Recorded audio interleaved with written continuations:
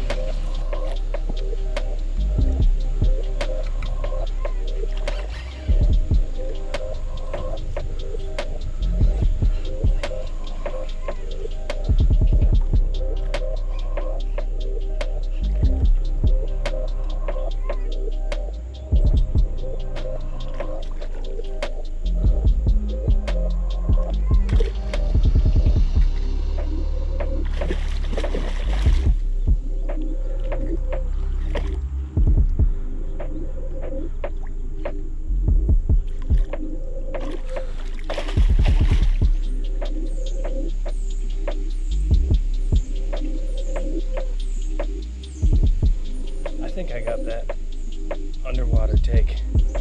If so, that'd be awesome.